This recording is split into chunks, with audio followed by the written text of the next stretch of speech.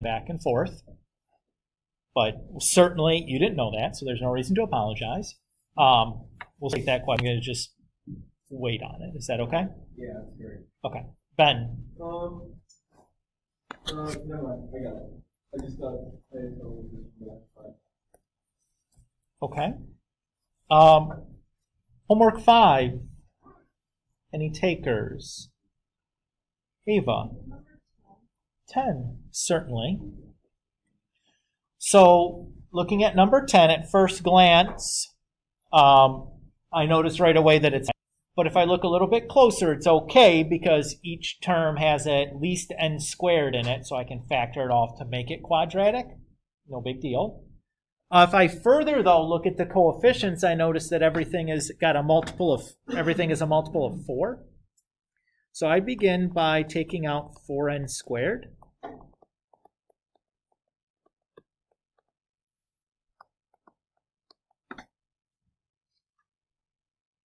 And while I still end up with a problem with that I have to do with the long factoring, the numbers are a little bit more convenient because they're a little bit smaller. It makes that search space for finding our two numbers a little bit easier. So I need to find the two numbers that multiply to give me 7 times negative 20, and then add to give us 4. So that's 14 and negative 10. Okay there? So 7n squared plus 14n plus a negative 10n minus 20. Now remember when I write these, I always have to make sure there's a plus sign in between my two groups. That's why I wrote it as plus a negative 10 rather than minus 10. Um, so now I can, from the first group, I can take out a 7n, leaving with n plus 2. From the second group, I can take out a negative 10, leaving me with an n plus 2. And since I have an n plus 2 in common, I can factor that out as 10. And that's my final answer there. Uh, out. I never really touched it again. It just kind of stayed out front the whole way. It never combined with anything else. It never got distributed. Once I pulled it out, it just stayed out and it sits out there in front for the entirety of the problem. Ava, are you happy with that? Okay. Uh, Stefan, Uh, where did we get the four? the two numbers that multiplied to give me negative 140 and added to give me 4. So where did the negative one go? S- A times C. So 7 times negative 20. No problem. Though These are important questions that, again, like if you need clarification, reminder on stuff, that's perfectly cool. That's what this is for. Stefan? Uh, so you do the A times C and the secondary, like, secondary line of the problem, not the original. Correct. I mean, you could start with the original and you'll get the same, you'd get the same, you'd be able to find two numbers there. Uh, But I always are gonna, I'm always gonna take a look at the factored form, or if I can take anything out. If the numbers are smaller afterwards, use the smaller numbers. It makes the search space way smaller and way easier to find the two numbers. You know, if you were looking for, you know, whatever that would have been, it was it was big. Yeah. Uh, yes, Evan. How do you find four? That's that's just the B. Okay. Yep.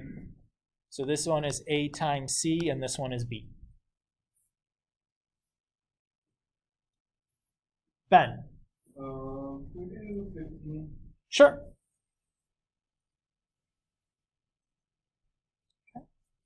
So again, at first glance, you look at this and you're like, oh dear, we got two variables in here. But that's not a big deal because you notice that the r is on each term, so we can just factor that off. If I look at the coefficients, 9, 73, and 70, there's no factor in common to all of them. So all I can do is take out that r.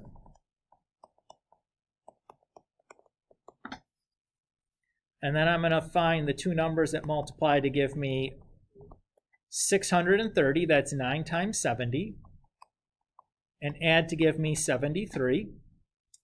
Well, I see the two numbers. They're 63 and 10. So I can rewrite this as 9p squared plus 63p plus 10p plus 70.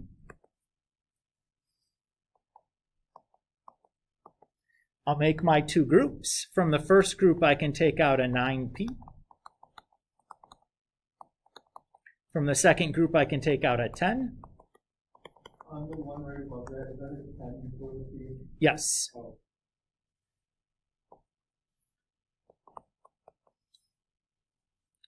And then I notice that both of these have a p plus 7 in common. So if I take that out, I'm left with 9p plus 10. And there's my final answer. Sure, no problem, my man. and then, oh, okay.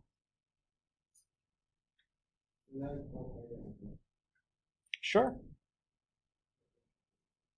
Um, number three. Number three. Okay, Oh, actually, we can number six. okay.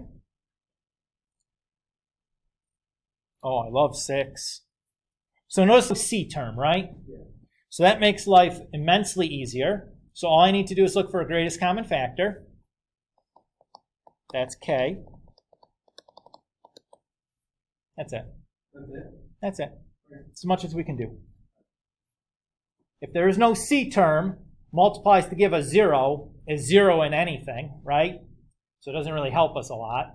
So I don't have to do anything with that. I just look for a greatest common factor and I'm done. Yeah, I think I tried to like overthink it. So it's always easier when there's either no B term or no C term. Those are easier problems. So you have to do less. They become much, much, much simpler. So those are good things. Uh, anybody else before we move on to homework six? Evan?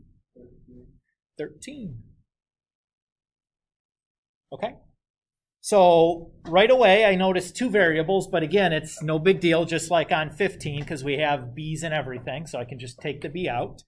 If I look at the coefficients, 30, 87, and 30, I notice that all of them are divisible by 3. So I'm going to take out a 3b.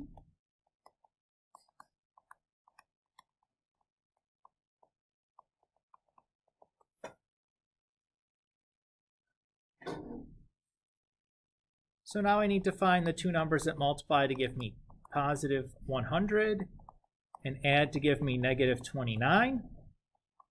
Those are negative 25 and negative 4. So I have 3b squared times 10n squared minus 25n plus a negative 4n plus 10. And I'll make my two groups. From the first group, I can take out a 5n. From the second group, I can take out a negative 2.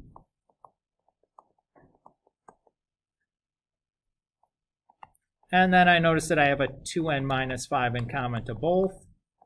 So when I take that out, it leaves me with 5n minus 2.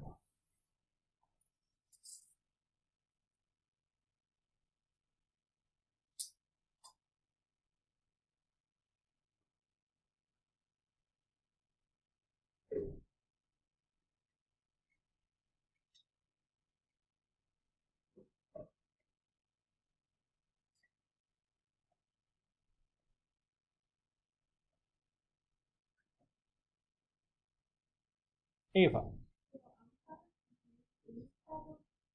How do you go from like finding um, those numbers like negative twenty-five and negative four? How do you go from that to learning that? So you'll notice that from this, the only thing that changed was the negative 29. So all of that stuff stayed the same, right? And I replaced the negative 29 with negative 25 plus negative 4. So that's how I use those two numbers to write that. So it just replaces the B term into two chunks. Okay, Evan? In the line below the one that you just talked about, Yes. Does does the five and, uh, and the negative two, do they both So those are those are the greatest common factors. So moving from that line to the next line, the 5n is there, and the negative 2 is there. Oh. Okay, yeah, yeah. Okay? So again, this process is a little bit more complicated, right? So it takes a little bit more practice, and that's okay. We'll continue to practice on this. Ben? Can we go back to number three? Sure. It's okay for me to scroll?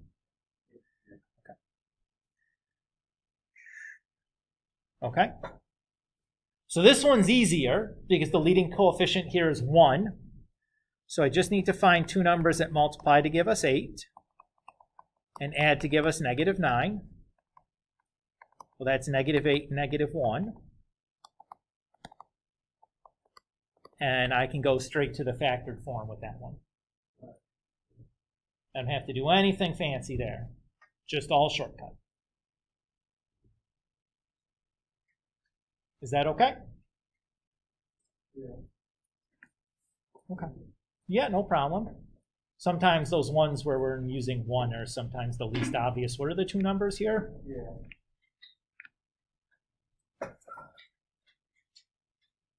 Um, again, if you don't see it right away, make a list. You know, just list out all the factors. And oftentimes you're like, oh, yeah, there is one. There it is.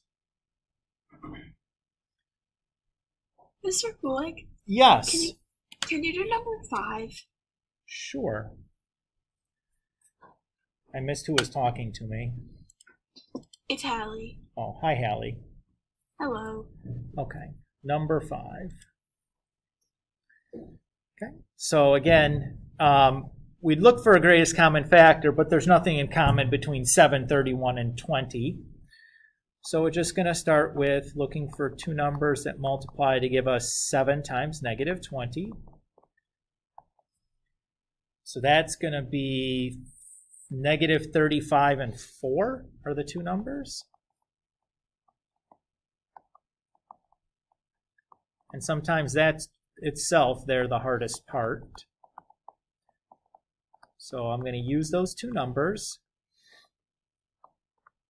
to rewrite the original problem, but with, instead of the negative 31, I'll have negative 35 plus 4.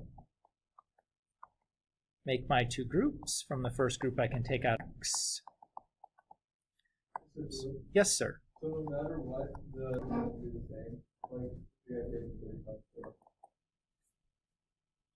the two numbers have to be, the, Um, yes, has to be the same two numbers for both questions. Alright. Yes.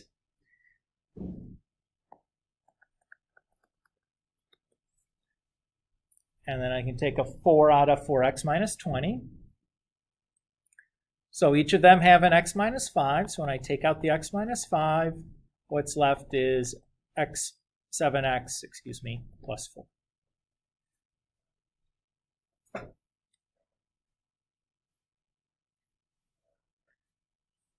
Allie, are you good with that? Yeah, thank you. Of course. Should we move on to homework six? Are we ready? Yeah. We've done a bunch from here. Again, I'm happy to do a bunch. No break, no big deal.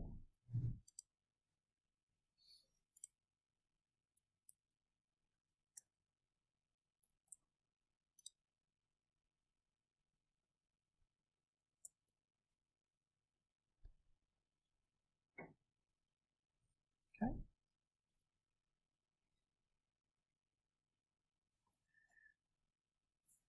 So, Evan, you said you had a question from Uh, number nine. number nine. Okay.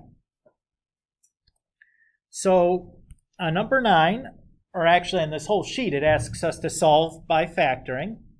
So if I'm going to use factoring as my solving technique, I'm going to need to use the zero product property. So my first step is always going to be to make sure that the equation is equal to zero. Right now, my equation is not equal to zero. So I'm going to begin by making it equal zero. So I'm going to add 3v squared to both sides and then subtract 6v from both sides.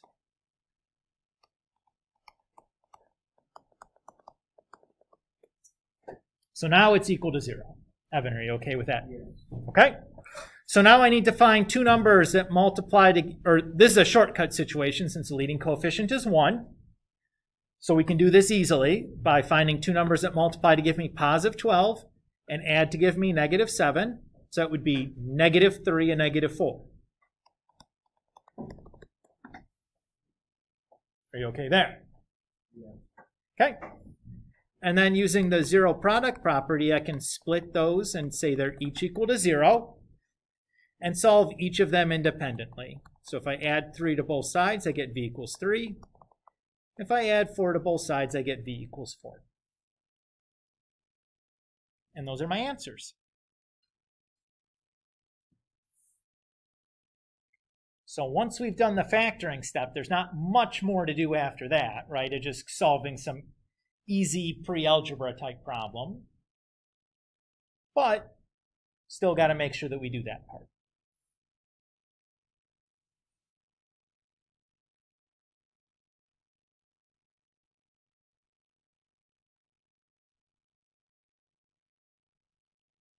Ben. Sure. Sure. What happened to that negative two, uh. So I added it. I added 3v squared to both sides. Oh, So when I added positive 3v squared, negative 3v squared, we just get 0. Right? So my first step when I'm solving any of these, it's got to equal 0. So got to make it equal 0. Okay. Um, so we'll do the same thing here to start, Ben. We'll start by subtracting 7x squared from both sides and adding 8 to both sides.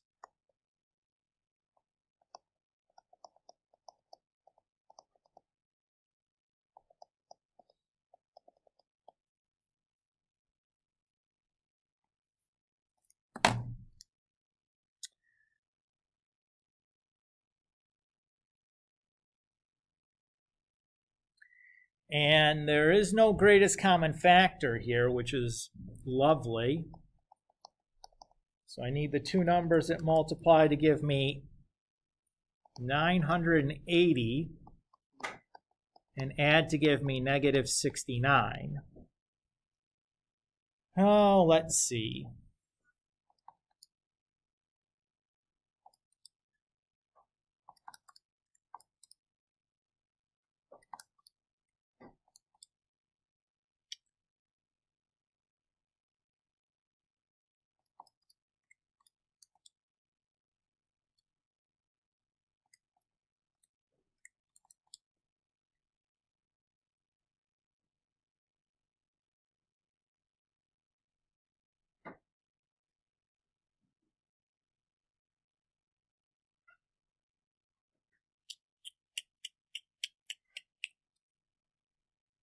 Well, let's see. We have 10 and 98. Well, negative 98, but that's going to be too big, right? So we should be getting closer, these numbers closer together. So 11 doesn't work, 12 doesn't work, and I have 14 and negative 70. And now that's too small. So I don't think there are two numbers. I don't think this is factorable. Let's check this real quick.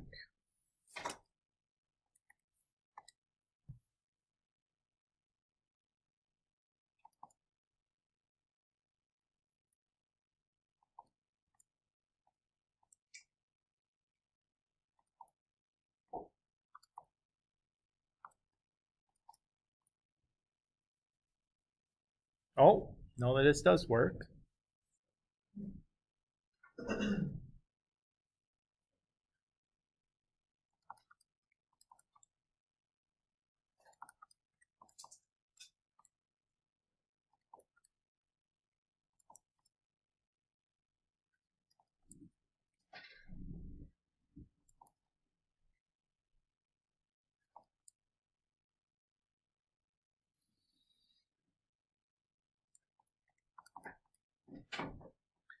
Okay.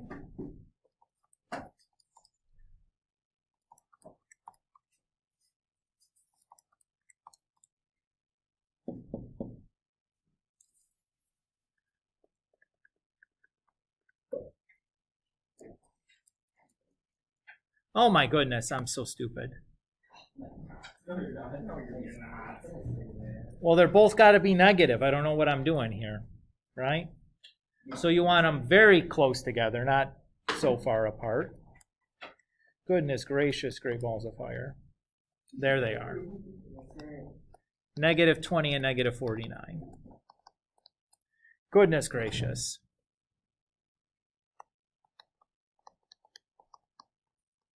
I feel like a Duma.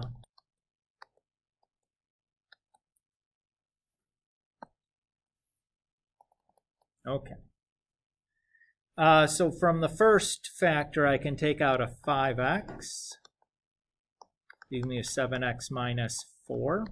One, I can take out a negative 7. Leave me with 7x, or I'm sorry, minus 4. So 7x minus 4 comes out. That leaves me with 5x minus 7. And then if I set each of these equal to 0, I add 4 and then divide by 7. And then I add 7 and divide by 5. So those are my two answers.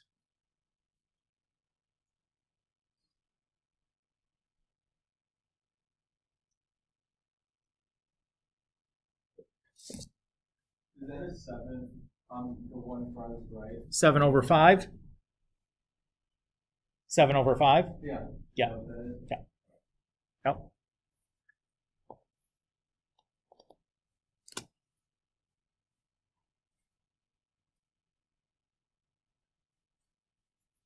So finding the two numbers there is a kind of a doozy. Took a minute, but we found them. So do you, do you find a problem where numbers are factorable if there's multiplication? Uh, for now, you could say that. We're going to eventually plug that hole, though, with some new fact or new solving techniques, so that we're able to now solve anything. But we're not quite there yet. So eventually, all these are going to have answers. Okay. But right now, if you talk about If, I think all of these ones work. Just FYI. I was surprised that this one wasn't working, but it was because I was being dumb and not because there was actually a problem. So I think all of these do work. I mean, there's it's always possible that there's a mistake or whatever, but I think that they all work. Yeah, no problem.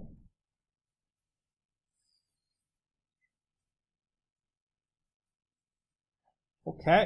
Uh, any more questions on homework six? Again, basically the same thing as homework five, right? We just have uh, some additional solving at the end, but the solving is pretty easy once you've got it factored. The factoring is usually the hang up. Okay? So if you guys would do me a favor, we're going to do another timed factoring practice here. So if you make a spot on your desk, you'll probably need something to write with, and you can use your calculator if you want, but you don't need your calculator to do this problem. But you're welcome to use one if you are used to doing that. So I'm going to pass pass these out. Leave them face down until I tell you it's time to go.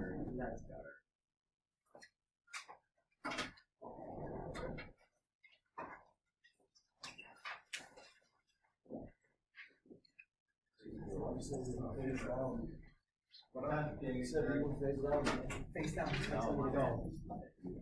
That's okay. It's amazing that that we've done this, what, this is what, number six or something of this, that and still trying to figure them out. Out. So here's the deal with these ones. Some of them can be done with the shortcuts, but not all. of them. So some of them you're gonna have to do the long way that we were doing in this last night's homework. And some of them may not be factorable at all. So you're gonna have to be a little bit careful here. So some of them you can use the shortcut on, but not all. Some of them you're going to have to do that long way that we've been, or that we've just done in the homeworks here. Some of them might not be factorable at all, so you have to also be on the lookout for those.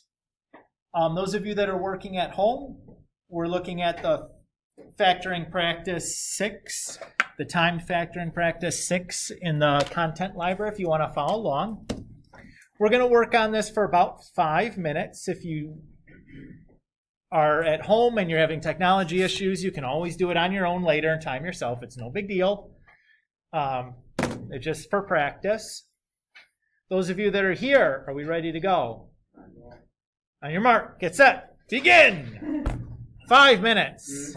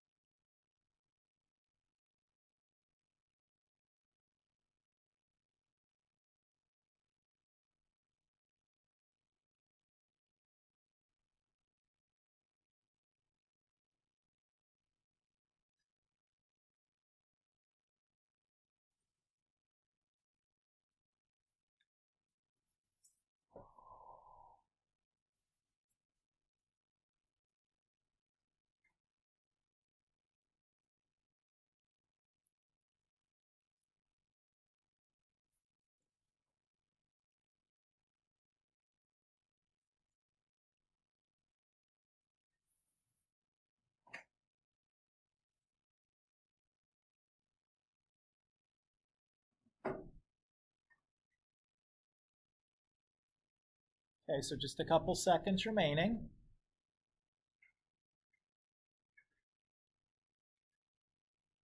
And pencils down.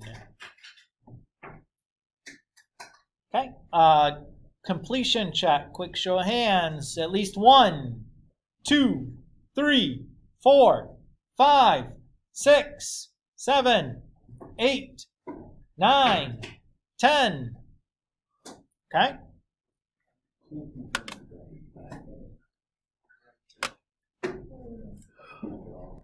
Let's uh, check them here. So here's the first few.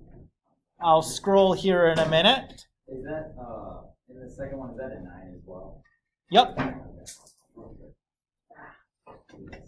The first six should have been pretty easy to do. They were all ones that could have been done pretty quickly. They're all shortcut eligible. Got a little bit harder 7 through 10, but still 7 and 9 you could have used your shortcuts on.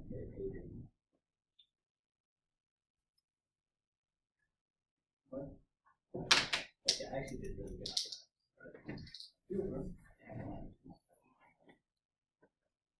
The only thing I got wrong was one wrong, and I told you that. Did you factor 8?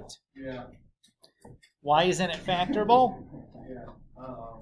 Because it's got a plus and not a minus. Oh. I didn't even notice that. Yeah, sneaky, right? Yeah.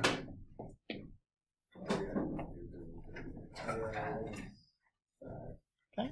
Uh, so little correctness check here. So at least one correct. Two, three, four, five, six, seven, eight, nine, ten. So by and large, it looks like the ones that we finished were more or less correct. We might have had missed one or two in there, but overall, we're doing pretty good on the accuracy end, right? Is that fair? Yeah, so that's good. So again, these ones were, there's some in here that were a little bit harder. 10 would have taken a little bit of time, for sure. And if you ran out of time doing 10, that's okay. Um, but five minutes to do 10 problems is, that's pretty quick, right? Especially when there's some stuff in here that maybe wasn't factorable that we wasted time on, or ones like 10 where it, there was no shortcut through it. It was, you just literally had to go the long way through it. Um, we'll continue to do these little time practices throughout the chapter, just kind of never getting too far away from any of these skills. Um, as we continue to add factoring skills like we've done, I'll continue to make these ones, you know, a little bit more diverse. So they'll have ones that can be done with short, with a variety of the shortcuts. Some that may not be factorable at all. Some that might need to be doing, um, have to be done the long way but we'll kind of continue to do some of these time practices we go. We just have one today. Um, okay.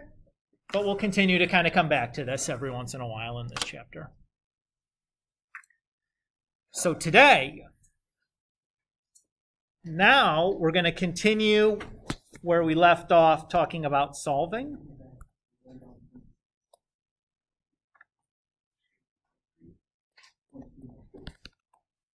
Do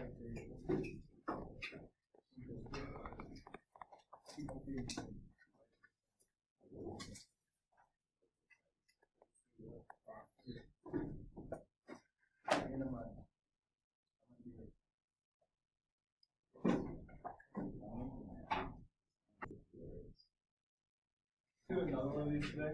Today.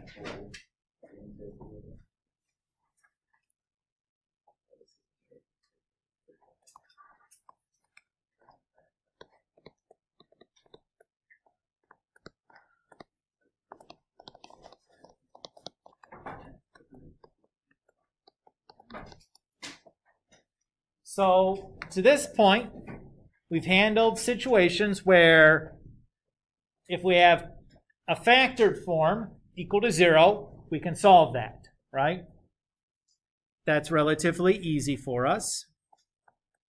And we've done situations like this, where if we have a standard form polynomial and we can get it into factored form, we can solve that situation also, right? Those are the two solving situations that we've taken care of so far. The issue is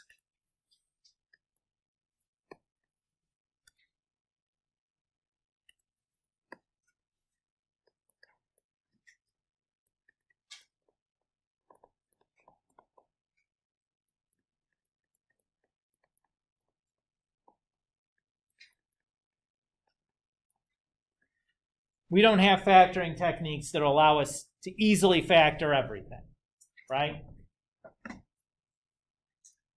That's one of the things that we're going to start working on remedying today. Okay with that plan? So just kind of recapping what we've done so far and what the catch is or what the what the incomplete part of our the methods that we've developed so far that we're going to work on kind of filling in those gaps. Okay.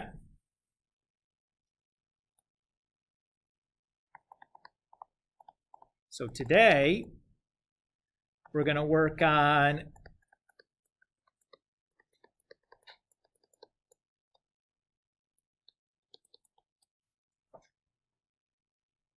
these situations where we have a standard form equation, but the b coefficient is equal to 0.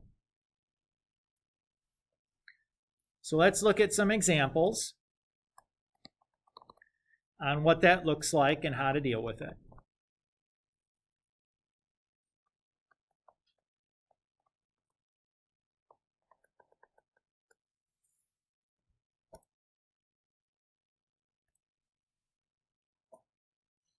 So let's say that we have this situation, 4x squared minus 7 is equal to 0. Notice here that there is no regular x term, right? The reason there's no regular x term is because the b coefficient is basically 0. Everybody's okay with that idea? This is an easy situation for us to deal with. We don't have to do any factoring. We don't have to do anything fancy. We can just apply the standard reverse order of operations that we would use to solve any kind of problem. So the first thing I'm going to do is undo any addition or subtraction going on by adding 7 to both sides of our equation.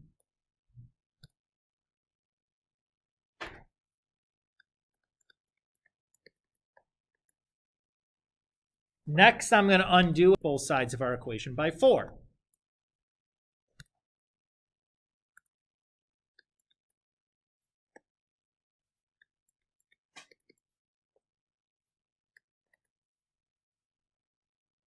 Now I'll undo any exponents.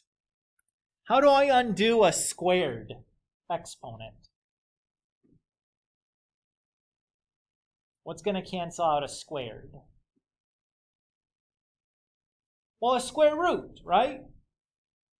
Everybody's okay with that? So I will square root both sides of my equation. But we're going to pause here and just make a little aside because there's some facts about square roots that we may not have remember from our Algebra 1 class, so let's make sure that we address these before we get going too much further here.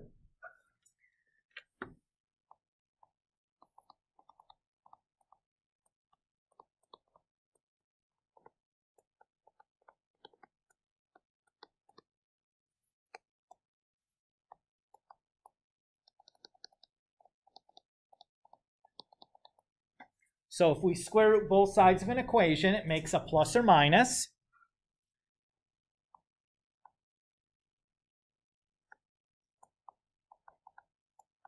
The square root of a fraction, we can just think of it as the square root of the numerator over the square root of the denominator. Or similarly with a product, the square root of a product Those things are all good. What's bad, what you cannot do,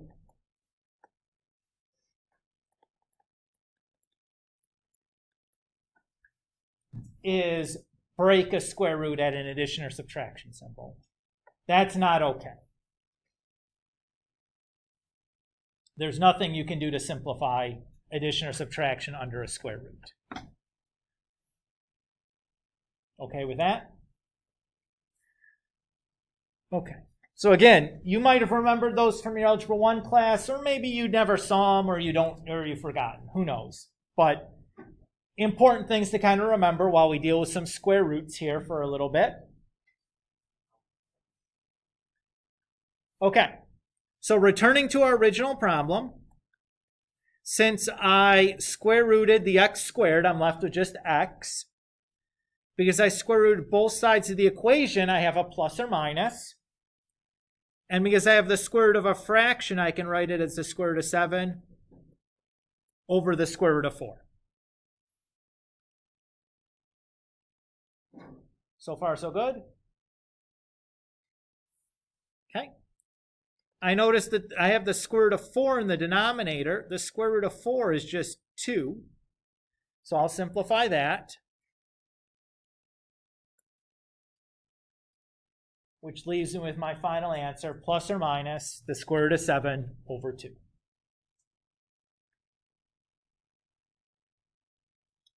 Are we okay there? All right, let's do another.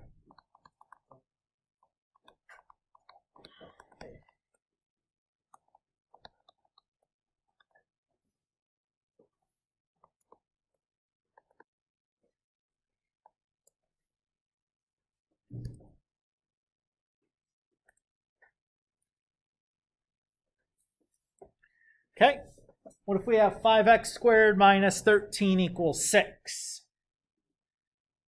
Does it matter that this doesn't equal 0? Do I need to worry about that here? No, because I'm not going to factor. I'm not using the zero product property. So I don't care that it doesn't equal 0. That's not a big deal. I'm just going to start by the same way I did before undoing any addition or subtraction.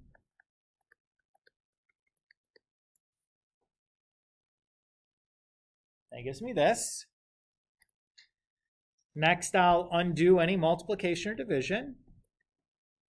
So I'll divide both sides by 5.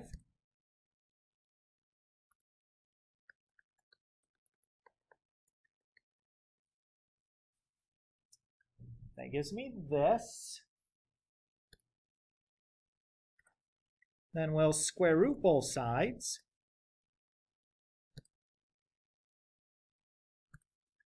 So the square root of x squared just gives me x. Because I square rooted both sides, I get a plus or minus. And because I have the square root of a fraction, I'm going to just write the square root of the numerator over the square root of the denominator.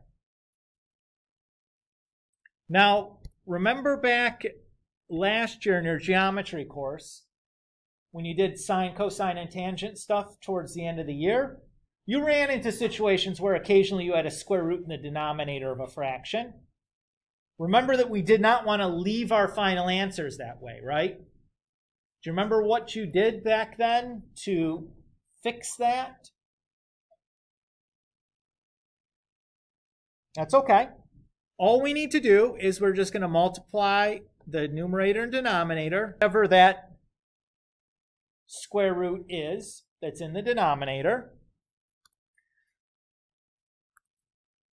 So the square root of 19 times the square root of 5 is the square root of 19 times 5, which is 95. And the square root of 5 times the square root of 5 is the square root of 25, and the square root of 25 is just 5.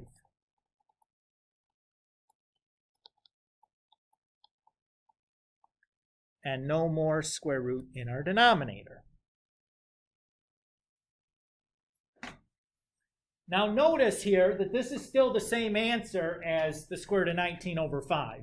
If I type these two into my calculator and got the decimal, it's going to be the exact same decimal because all we really did is we multiplied by 1, right? Square root of 5 over square root of 5 is just 1. So all I did was multiply this by 1. So I didn't change the value of anything. I just changed the way it looks like. Both answers are correct. Just one answer is the form that we've agreed to report our answers in, and the other is not. Remember when you dealt with fractions way back in elementary school? At some point along the way, we decided that we're going to always represent our fractions as reduced fractions. So you didn't write down 5 tenths anymore. You wrote down 1 half. Even though they're still the same number, we agreed that we are just going to write reduced fractions instead of non-reduced fractions. The same idea here. Everybody okay with this process? Pretty easy in general, right? Very familiar feeling. It's basically the same procedure that we used um, to solve linear equations way back in our Algebra 1 class or even our pre-algebra classes. Well, we can apply this same process to other situations.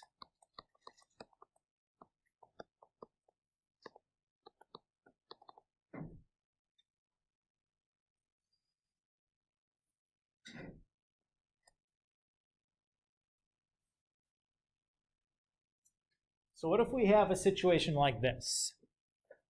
This looks like vertex form to me, right? Everybody's okay with that? Now, it doesn't equal zero, but that's fine. Because we're not going to use factoring to solve this. We're going to use the same process we used before.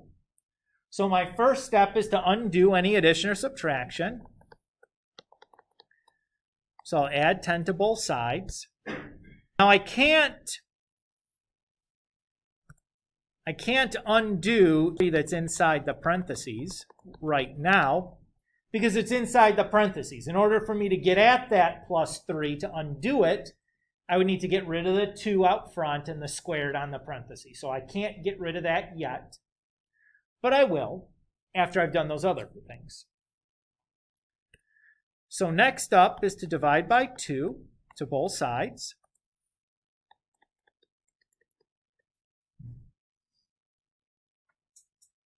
And then we'll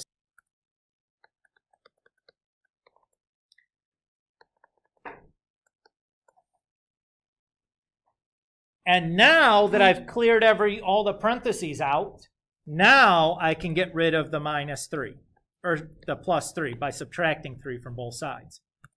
Combine a number that's under a square root with a number that's not under the square root. Those aren't like terms, so they don't go combine together. So all I'm going to do is write it this way. And I can do a little bit better simplifying this than this. The place where I can do a little bit better is with this square root of 8.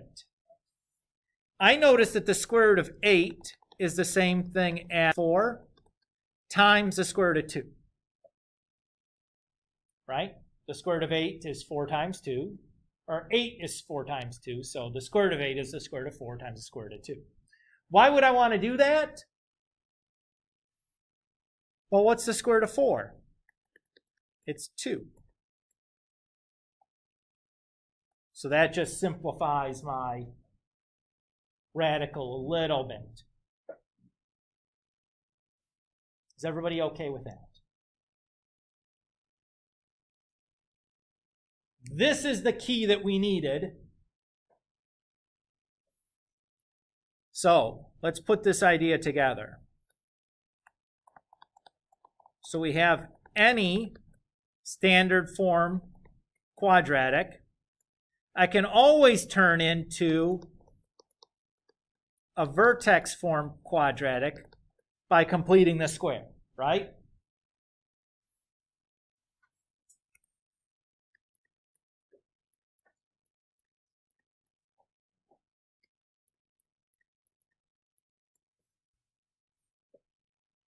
That's always possible. We can always do that.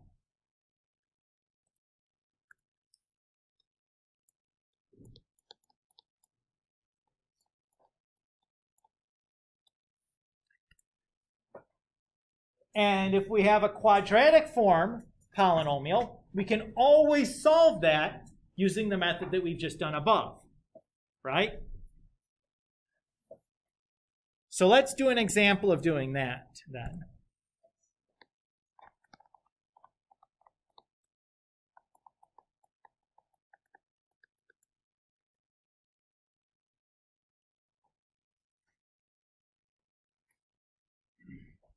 Okay. So let's say we have x squared plus 5x minus, uh, I changed my mind. Let's make that 6x minus 3.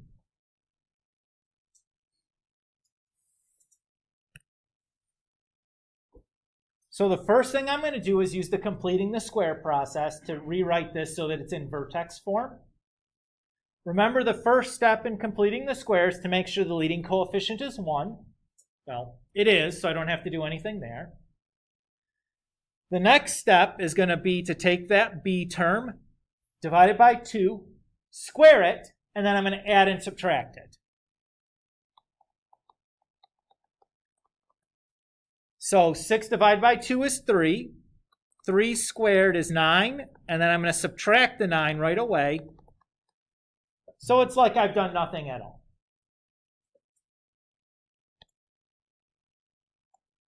But what that allows me to do is factor this part. So the two things that multiply to give me 9 and add to give me 6 are 3 and 3. Negative 9 minus 3 is negative 12. And then x plus 3 times x plus 3 I can just write as x plus 3 squared. And now I'm in business, right? Now I'm back to where I was before. So I can start my solving process. So I'll add 3 to both, or add 12 to There's no multiplication to undo, so I can skip doing that and just go straight to square rooting both sides.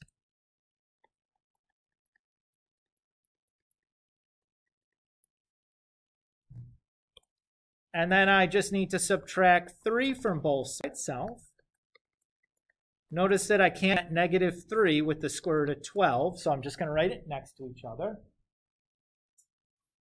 And I can do a little bit better than the square root of 12 because I remember that 12 is 4 times 3, and the square root of 4 is just 2.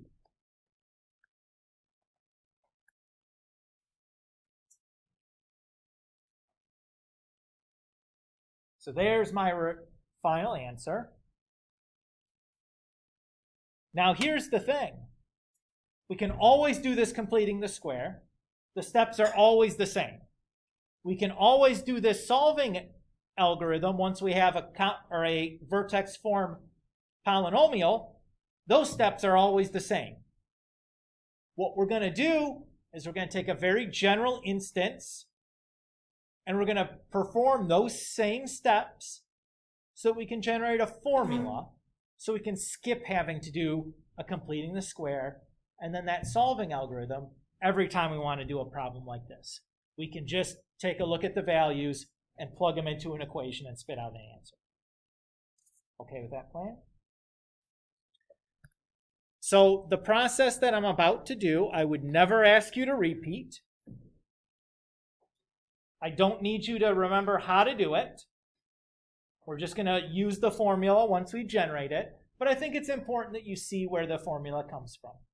So you don't need to necessarily take notes on this. You can just kind of watch and you know see what's happening. But I think it's helpful to realize that this formula that we're about to create is just a product of using techniques that we already know how to do, applied in a very general way. So here's our generalist situation, right? Here's a standard form polynomial. A, B, and C can be whatever they want. Well, a is not zero because it wouldn't be a quadratic anymore, but okay with that. We're going to start the completing the square process, so I'm going to factor off the a so that it my leading coefficient is 1. Everybody's okay there. I'm then going to take that middle term, divide it by 2, square it, and then add and subtract it. So when I divide this by 2, I get b over 2a.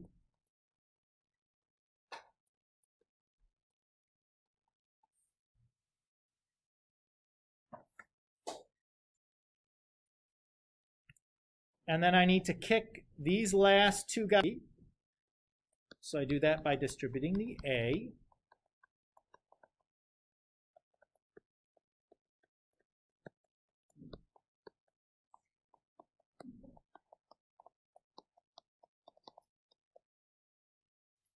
And C over A times A is just C then.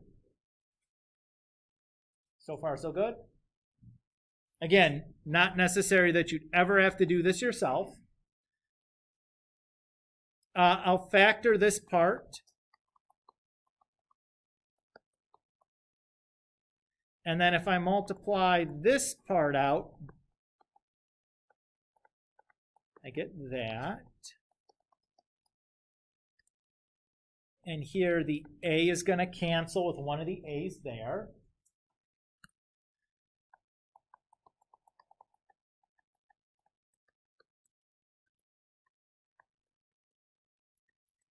And I'm going to make a common denominator here with the C. So I'm going to multiply the top and bottom of C by 4a over 4a.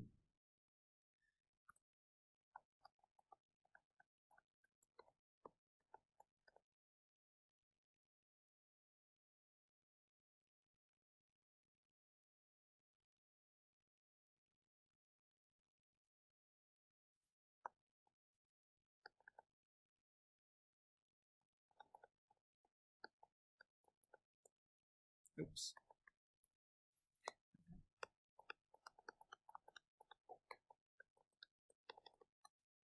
Okay.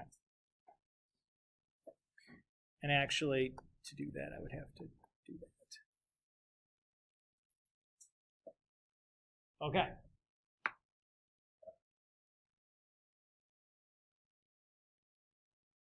So I'm going to add this over now to the other side because now we're going to start solving. So I'm going to add that b squared minus 4ac over to the other side.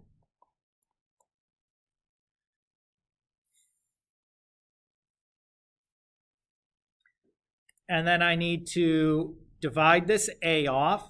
Dividing by a is the same as multiplying by 1 over a.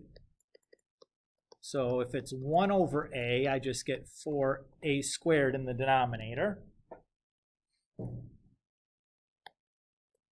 And then I square root both sides.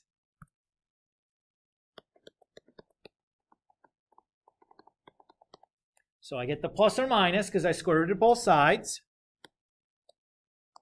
I have the square root of the numerator and the square root of the denominator. Now, the square root of 4 is just 2, and the square root of a squared is just a. So when I subtract that uh, b over 2a over to the other side, I have this. And since I have a common denominator, I can just write this all as one big fraction.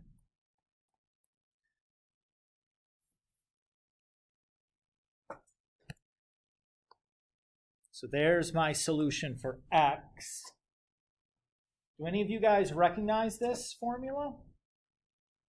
Oh, Yeah, you probably learned this in Algebra 1. This is called the quadratic formula. So we say for ax squared plus bx plus c equal to 0, x equals negative b plus or minus the square root b squared minus 4ac all over 2 times a. And we call this the quadratic formula.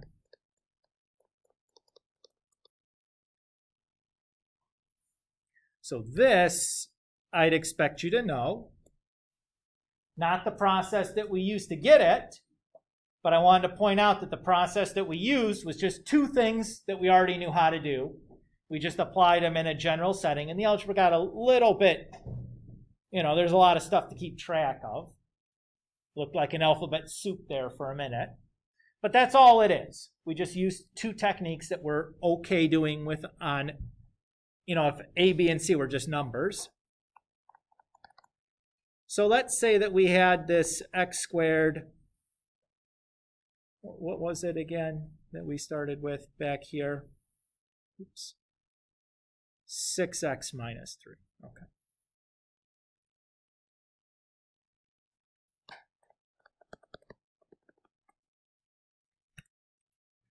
So I know here that a is 1, b, so x is equal to negative b plus or minus b squared minus 4 a c all over. a. So negative 6 plus or minus 6 squared is 36. 4 times 1 times negative 3 is negative 12, minus a negative 12 is positive 12.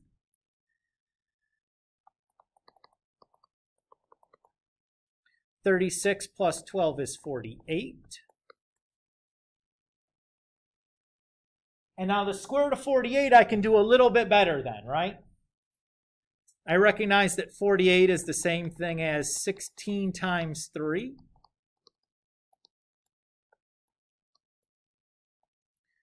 And the square root of 16 is just 4. And then I can think about this then as two separate fractions. So negative 3 divided by 2 is, or sorry, negative 6 divided by 2 is negative 3. 4 divided by 2 is just 2. That root 3 just hangs out. Here's my final answer, which is exactly the same answer that we got before. And we're done.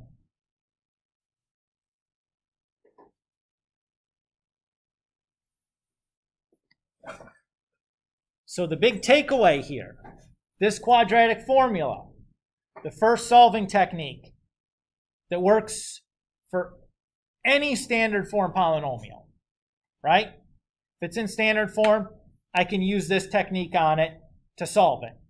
Now, is it faster than factoring if the factoring can be done with a shortcut? I don't really think so. In those situations, I'd still rather factor. But in this cases where maybe I can't use a shortcut, or it doesn't appear that it's factorable, this is a nice option, right? Okay. So we're done for today. This is as much as I want to do. Um, if you check back later today, I'll have an assignment in the content library for you. I don't have it finished quite yet, but it'll be practicing using some of these solving techniques that we've talked about today. Please be careful um, and read the directions carefully on the homework because I'll ask you to do the solving a certain way whether it's using the reverse order of operations or the quadratic formula or factoring or whatever. Um, I'm going to give you assi- or problems that I want you to do a certain way. When it comes time for the test, there'll probably be some problems that I ask you to just solve using whatever method you find appropriate because it is important that you're able to pick and choose the appropriate method to make your life as easy as possible, right? Let's do things the fastest way that we can. Um, but we do need to practice all of these techniques at some point, and that's what I'm going to ask you to do in some of these subsequent homework assignments. Any questions for me at this point? Okay. Well, I'm done. So thank you guys. You did a nice job today. And uh, don't forget to check back later for the homework assignment.